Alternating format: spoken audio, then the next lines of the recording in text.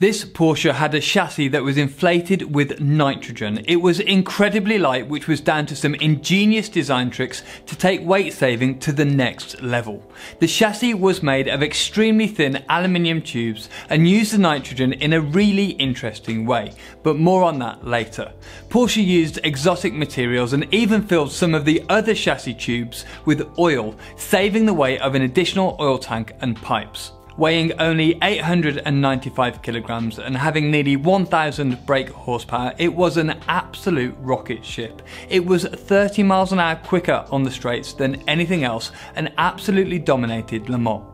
Well, whilst the car was on the tarmac, it was a real handful to drive and led to some terrible accidents. But Porsche managed to fix these strange problems by actually examining the pattern of splattered flies on the car.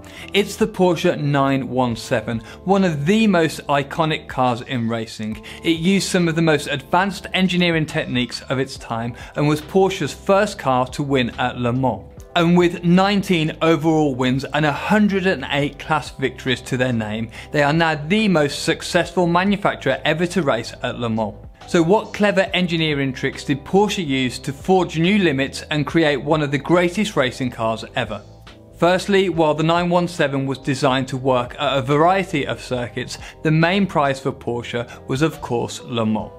It was extremely streamlined and had a lot of power. Along with most of the cars in that era, they were designed for out and out top speed to make best use of the nearly 4 mile long straight at Le Mans.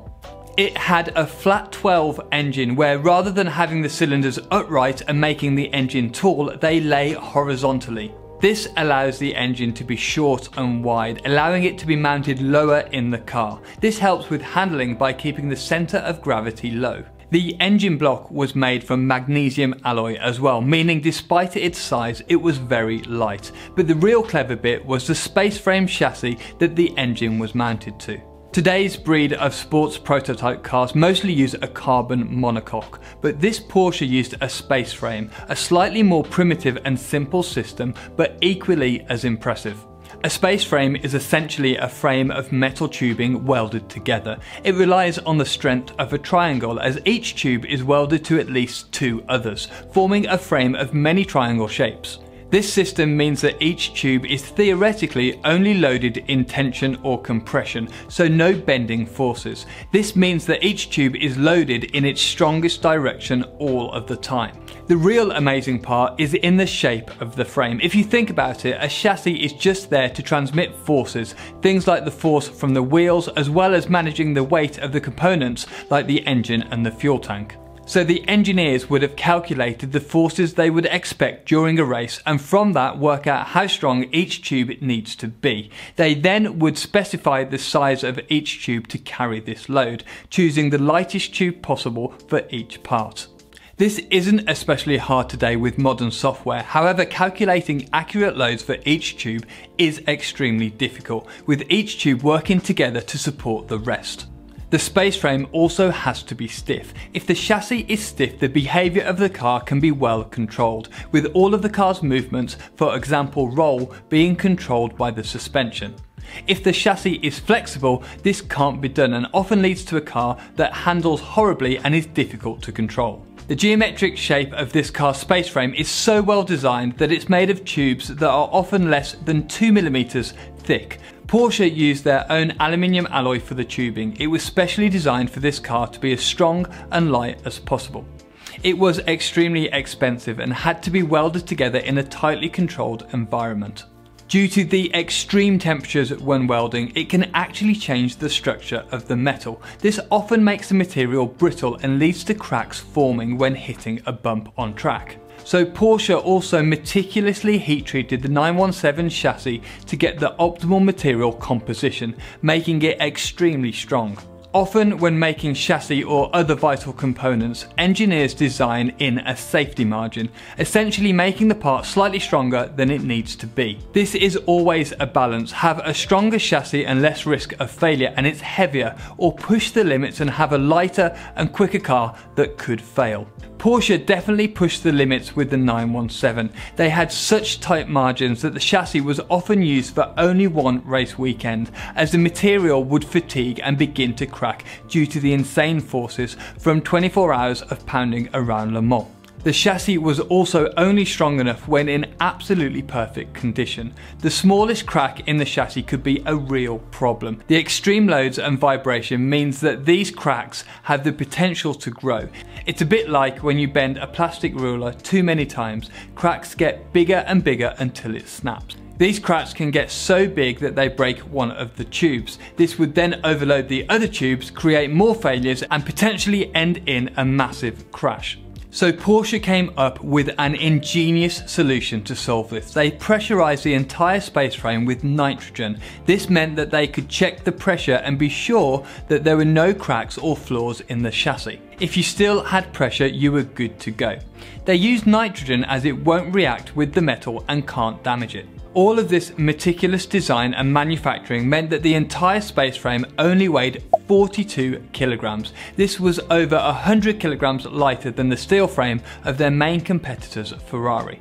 This meticulous weight saving meant the Porsche was so tricky to manufacture that they often got it wrong. Incredibly, Porsche threw away four space frames for every one that ended up being used. And the Porsche engineers didn't stop at that. Instead of having separate piping between the oil pump, radiator and the engine, they actually filled the space frame tubes with oil, saving weight as they didn't need additional tubing between the radiator at the front of the car and the engine at the back. However, they removed this in the second version of the car as the drivers were complaining of extreme heat in the cabins from the hot oil in the tubes. Porsche were pioneers of using some exotic materials all with the aim of saving weight. Magnesium was used for the uprights and the wheels as well as making the entire steering column from titanium. It was extremely advanced for the time. All of this weight saving meant the 917 only weighed 895 kilograms and was the lightest car on the grid that year. So how did it get on? At Le Mans, the 917 was insanely quick on the straights and by far the fastest over a lap. It turned out that they were this fast partly by mistake and due to this mistake, the cars were incredibly difficult to drive. The shape of the car meant that the airflow wasn't flowing correctly.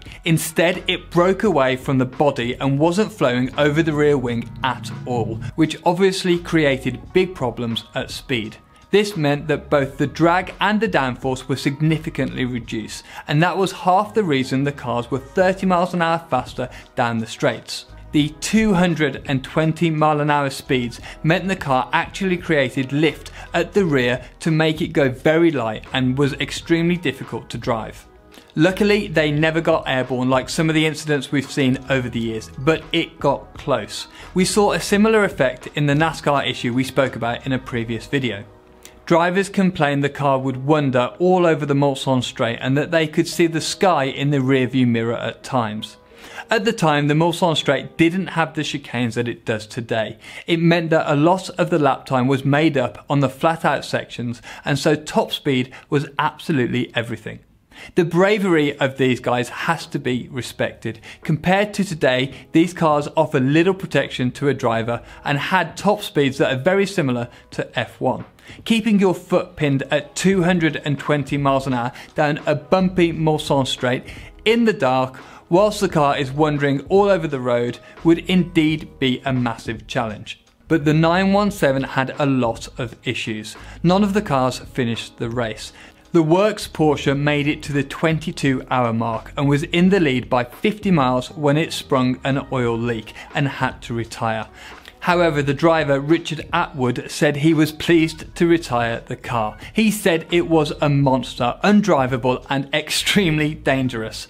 After the race, the engineers noticed something strange. The front of the car was covered in flies, as expected, but the rear of the car was not. This was extremely unusual, and this was when they realized the air was detaching from the rear of the car, which was the reason for its instability. Porsche went back to the drawing board to fix these issues. They came back with a new variant of the car, the 917K. It had a larger rear wing and redesigned rear bodywork. This cured the issue with the lift at the rear, but significantly increased the drag.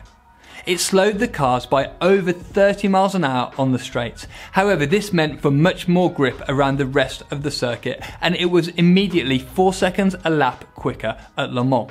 After the aero problems were solved, the 917 was a complete car. It won the majority of the races it competed in and won Le Mans two years in a row the first of 19 for Porsche, making them the most successful manufacturer ever at Le Mans. The 917 also set one of the longest lasting records at Le Mans, an average speeds over the entire 24 hours of 138 miles an hour, including all of the pit stops. The car was driven by a young Dr. Helmut Marko and his teammate.